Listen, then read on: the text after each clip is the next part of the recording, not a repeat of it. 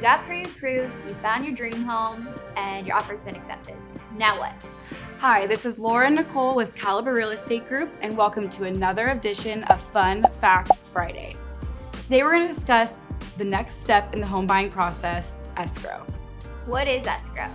Escrow is a neutral third party that facilitates the paperwork and holds the funds.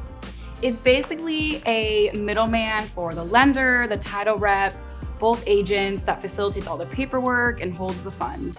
And the escrow period's usually around 30 days depending on your contract. Get ready to sign a lot of paperwork. For more information or if you have any questions about the home buying process, give us a call. Thanks for watching.